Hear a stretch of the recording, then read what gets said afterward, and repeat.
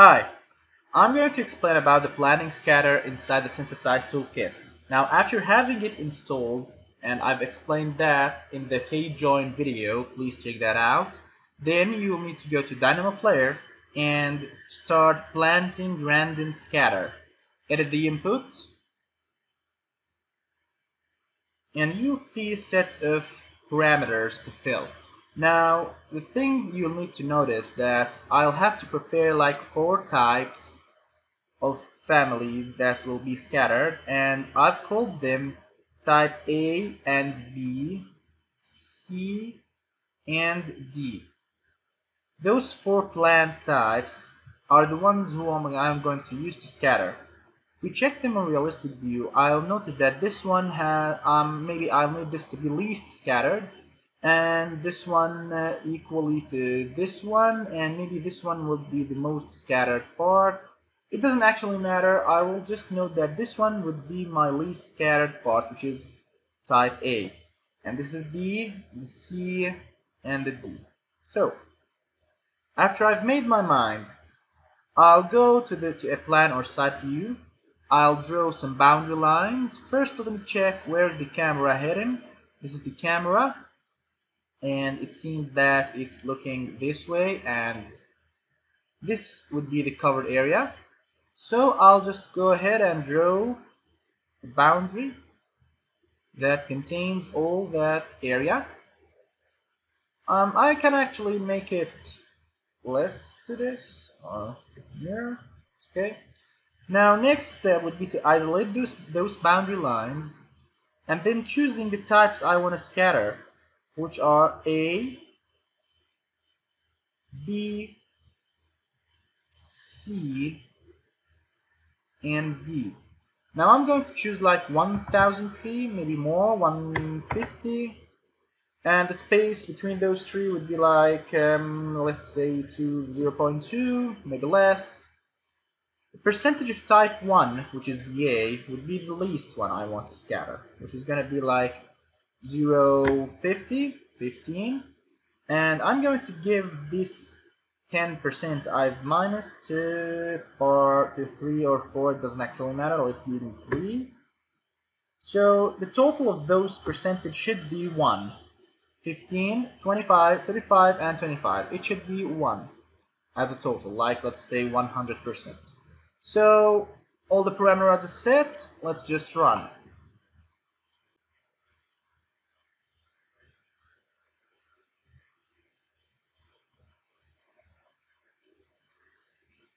Now it's done and it scattered all these plants. Okay, so I'm going to go to 3D view and check them out. Okay, they are pretty much cool. So the thing is going to be happening now is I'm going to host them on the topo surface.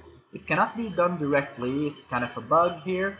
So I'll have to draw a floor or anything that can host plants. And I'll choose those planting category here and I'm going to host them on this floor first. Next, I'm going to rehost them on this topo surface. Maybe you would need sometimes to do an offset with zero to make sure that they are on this topo surface. This floor is not needed anymore. You can see all those plants are hosted on this topo surface. The next step would be to set up the height parameter as an instance parameter for those plants. If you chose any plant, you'll see that I have my height as an instance parameter. This can be done by editing the family of the tree and going to any elevation, clicking on the dimension and making it an instance parameter. So you would make sure that the height is set to an instance instead of the type. The reason I didn't make it from this window is because Revit doesn't allow me to make an instance from here. Therefore, I made it from the dimension in the elevation view. Next, after doing so, I'm going to get back here and again to my Dynamo player, going to planting, rotate, and scale. Edit inputs. Now, before I get started in this, I want to explain that those three, I want them to be untouched. So, I don't want it to categorize or to randomize the whole category in here, planting. It will go and pick those. So, before that, of course, the name of the parameter to randomize, it's called height, which is height. That's it. Specified types only, yes, I want it to be specified types, which are the type A, B, C, D. Yay. and the B and the C and the D. So the reason I did this because I don't want those to be grabbed in. I weighted only specified types and only those types to be randomized, which is the A, B, C, D here. So the minimum value for the height, as it seems to me here it's 1, I don't want it to be less than 0.5 and I don't want it to be more than 1.2 maybe 0.6 would do it better.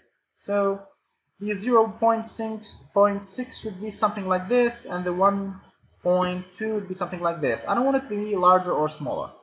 Cool. Now after I've done this setup I'll click on play and you'll have to wait a bit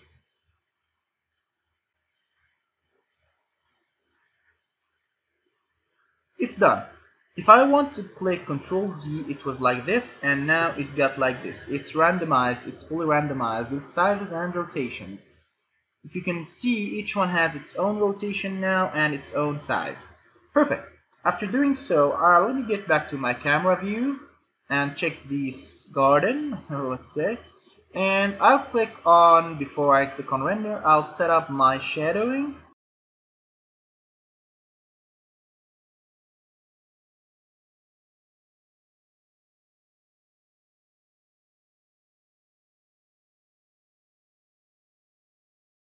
Now this is the shadow I want, turn it off, and then I'll go and hit the render button with the medium and maybe 2000 pixels with no clouds and let me hit render.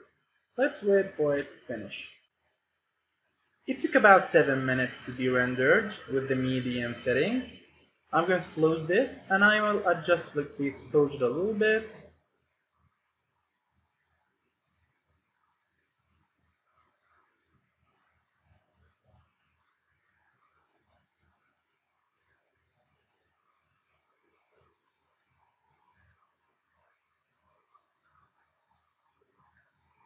Maybe then I'll move it into Photoshop for further editing.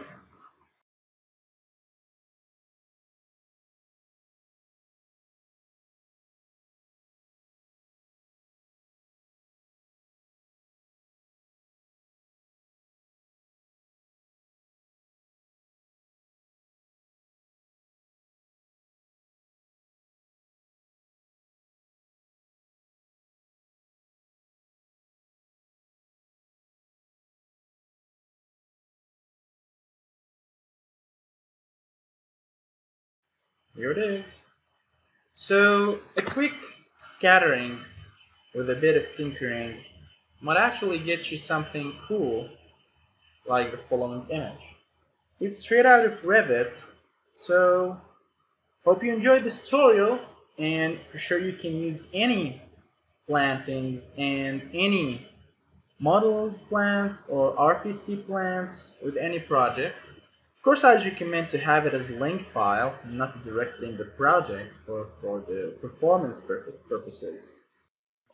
Now, there is a this small trick I want to add to this video. For example, if I wanted to navigate throughout my project and after having those scattered, um, I can actually go to course and all my trees will get to lines, will convert into lines this is going to be pretty, pretty, pretty lightweight on your project and you'll navigate easily through it. Um, getting into medium or fine will actually get it to complex trees. So this trick is very easy to apply. Basically, I've just edited the family of this tree and make it in the visibility settings disappear from the coarse and have this model line drawn here and make this model line disappear in medium and fine it only appears in the coarse. This is actually some sort of a basic uh, Revit uh, family editing functionality, so you'll get to use this. And as soon as you do this, when you are done with the trees or you don't want to see the trees while you're navigating through your project, just go for coarse and it'll, it'll be really, really quick and easy, while going to medium will actually be something really heavy. Hope you enjoyed this video and see you.